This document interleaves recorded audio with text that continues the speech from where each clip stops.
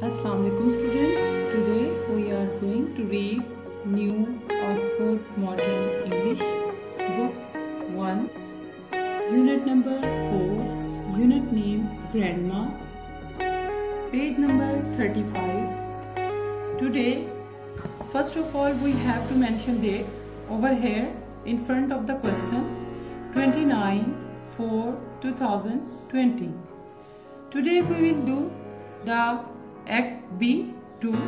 Our question is look at the pictures again. Give short answers. Students, these questions are regarding to these pictures which we have done yesterday. These are the questions and we have to answer in a very short way. I am going to read the question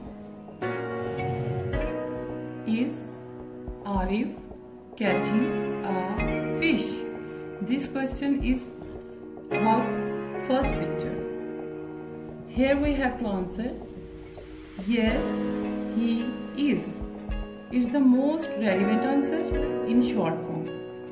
Now we will read the second question. Are the girls bringing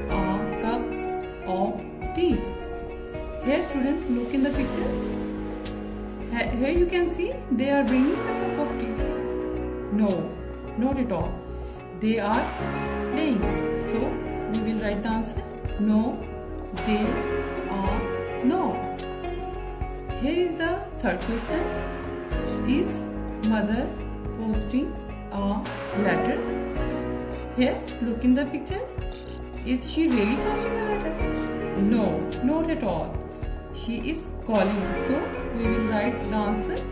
No, she is not. Now, is Mr. Khan driving a car? Students, look at the picture. Is it a car? No, this is not a car. It's a jeep. So, we will write answer. No, he is. Students, you have to do your work in a very neat and clean writing.